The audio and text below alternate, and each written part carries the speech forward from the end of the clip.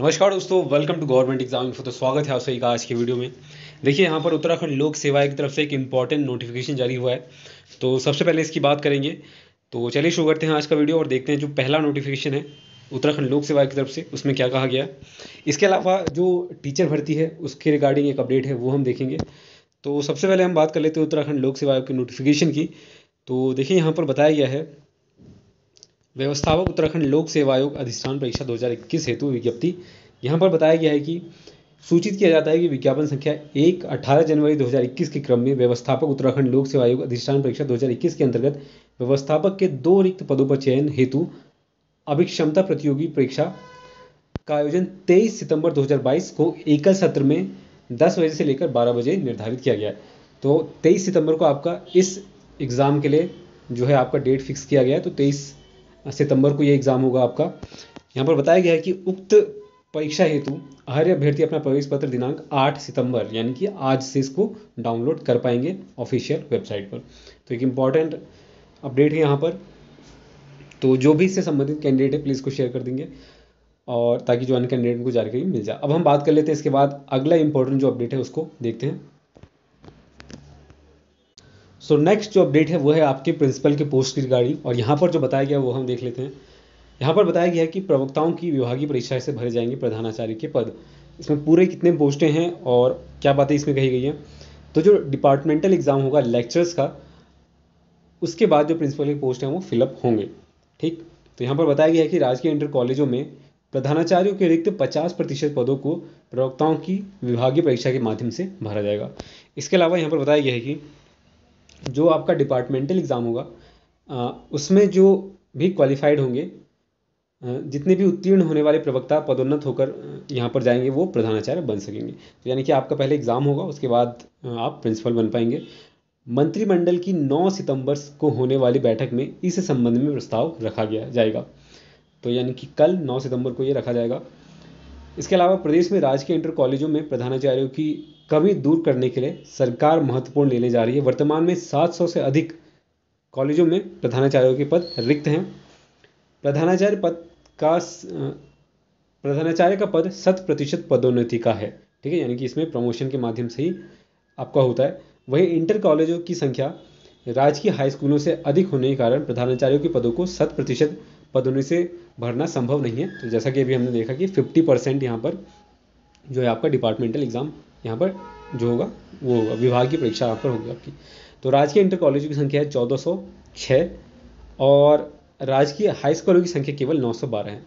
प्रधानाचार्य पद पर पदोन्नत के लिए हाई स्कूल के प्रधानाध्यापक पद पर न्यूनतम पाँच साल की सेवा अनिवार्य होगी और हाई स्कूल हाई स्कूलों की संख्या कम है। इसके अलावा प्रधानाध्यापकों के 200 से अधिक पद रिक्त हैं। एलटी और प्रवक्ता से प्रधानाध्यापक पदों पर पदोन्नति में भी विलंब की समस्या बनी हुई है। इसके अलावा यहाँ पर बताया गया है कि यद्यपि सरकार की ओर से पदोन्नति प्रकरण में तेज़ी से निर्णय लेने के आदेश दिए जा चुके हैं और प्रधानाचार्यों के 50 प्रतिशत पदों को सीधी भर्ती से भरने के शिक्षा विभाग का प्रस्ताव शासन स्तर पर लंबित रहा है। तो 50 परसेंट जो पोस्ट है यहाँ पर, सिर्फ़ 50 परसेंट पोस्टों की बात की गई है, जो कि आपके विभागीय परीक्षा के माध्यम से भरे जाएँगे। अब सरकार इस मामले में शीघ्र निर्णय लेने जा रही है। शिक्षा मंत्री डॉक्टर धन सिंह रावत ने कहा कि प्रधानाचार्यों के 50 प्रतिशत पद प्रवक्ताओं की विभागीय परीक्षा के माध्यम से भरे जाएँगे। तो इसके लिए 50 परसेंट जो पोस्ट है उसमें आपका एग्ज़ाम होगा। इसके बारे में आप क्या कहना है? कमेंट करके आप बता सकते हैं। इसके बाद देखिए ये जो पूरा मामला है जो स्नातक स्तरीय परीक्षा हुई थी यूके ट्रिपल एससी में उसको लेकर एक बड़ी अपडेट पहले भी आ चुकी है सामने और फिर से ये यहाँ पर बात कही जा रही है कि जो परीक्षा है वो निरस्त होने वाला है कन्फर्म मान के चले आप।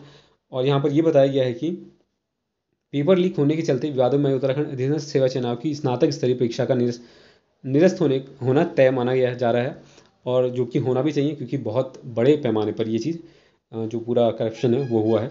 हालाँकि सरकार इसके लिए पुलिस जा, की जाँच पूरा होने का इंतज़ार कर रही है। और इसके बाद परीक्षा में शामिल रहे छात्रों को बिना शुल्क के, ये इंपॉर्टेंट पॉइंट है कि आपसे फ़ीस नहीं लिया जाएगा तो एक अच्छी बात है कि दोबारा से आपको फ़ीस सबमिट नहीं करना पड़ेगा, जो भी फ़ीस होता है आपका।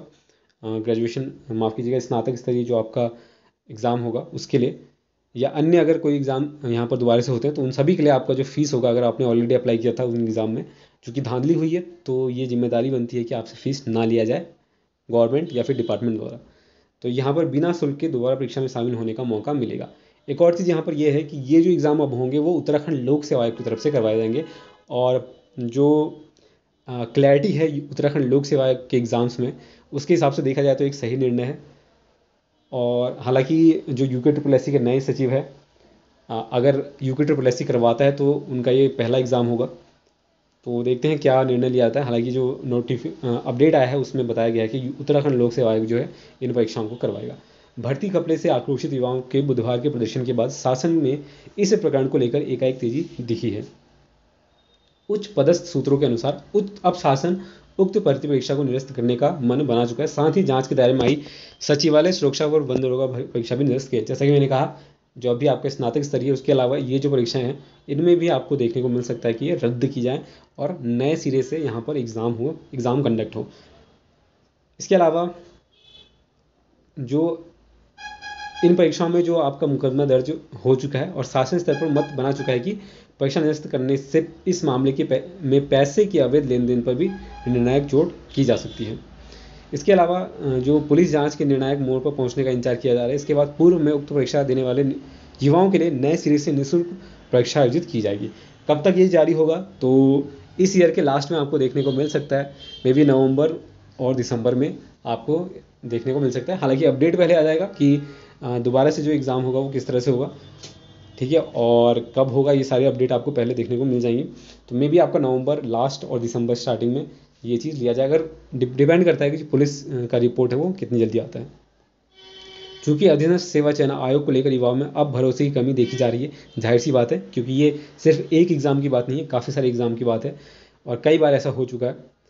तो इसलिए विश्वास बहाली के लिए उक्त परीक्षा लोक सेवा, जैसा कि मैंने आपको बताया था कि लोक सेवा के ज़रिए कराई जा सकती है।